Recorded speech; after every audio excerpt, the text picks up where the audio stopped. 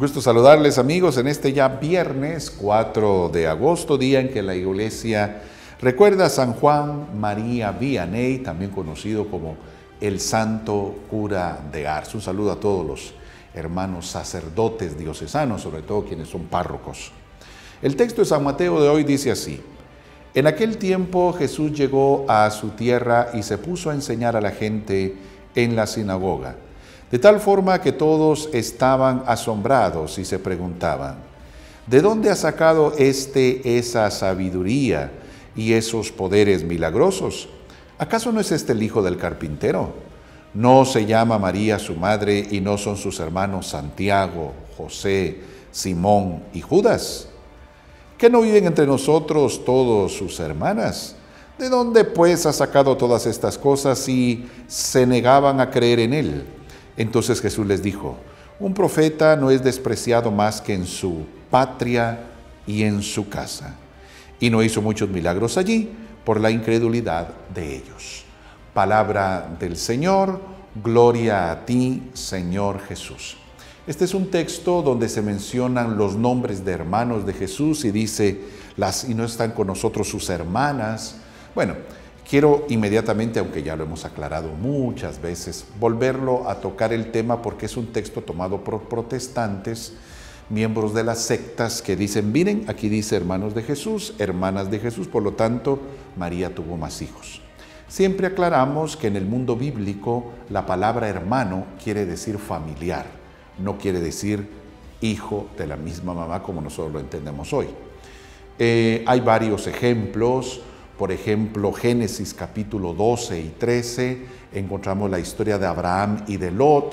Abraham sale de, la, de su tierra y se lleva consigo a su esposa, sus posesiones, y a Lot, el hijo de su hermano, es decir, tío y sobrino. Y luego más adelante le dice, no haya pleitos entre nosotros, pues somos hermanos. No son hermanos, es tío y sobrino.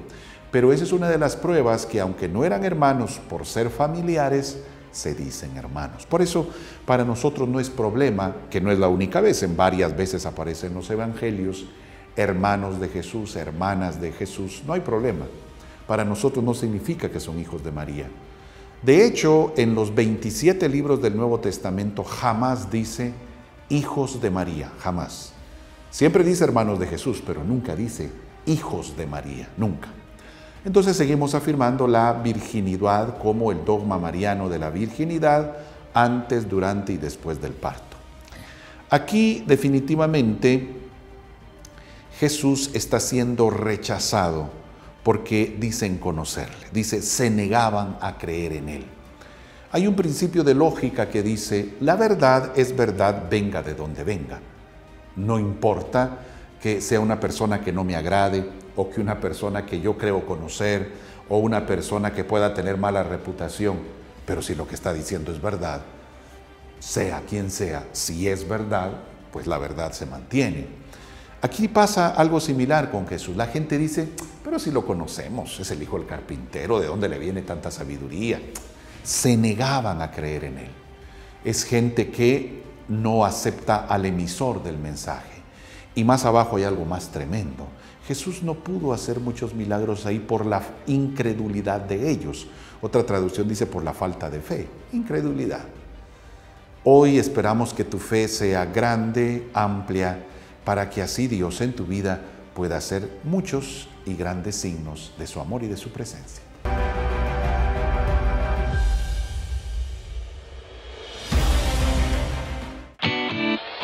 Televisión Arquidiocesana, por una iglesia en comunión.